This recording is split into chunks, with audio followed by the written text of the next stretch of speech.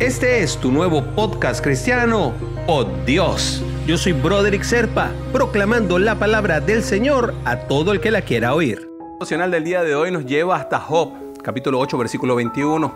Pondrá de nuevo risas en tu boca y gritos de alegría en tus labios. Y es que hay que pensar en todo lo que pasó a Job Pasó terribles dolores, dolores físicos terribles, pero además emocionales y espirituales.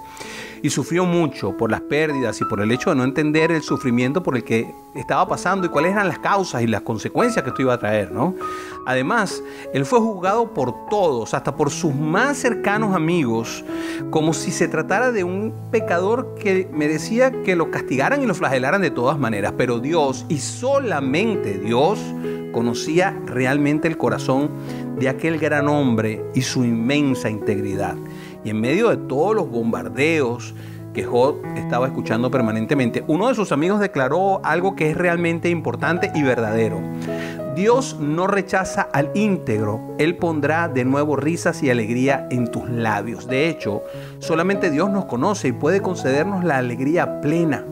El Salmo 126 nos habla acerca de esto diciendo, nuestra boca se llenó de risas, nuestra lengua de canciones jubilosas, hasta los otros pueblos decían, el Señor ha hecho grandes cosas por ellos. Y a pesar de todo el sufrimiento que podamos enfrentar en algún momento, Dios siempre va a darnos alegría real y verdadera. A veces no es la que nosotros estamos buscando, la alegría del gasto de dinero, la alegría de la fiesta, la alegría de un amor. No, nos va a dar alegría real y verdadera, muchas veces que proviene de Él mismo, que proviene desde nuestro más interno fuero, que es donde habita exactamente el Espíritu Santo.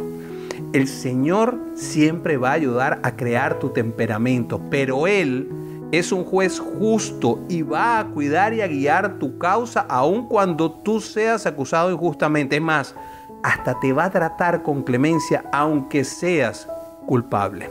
Así que te invito a que creas por encima de cualquier circunstancia, porque el fin el fin es uno solo y como digo tantas veces, nosotros conocemos el resultado del juego. Y te invito a orar, mi hermanito, mi hermanita.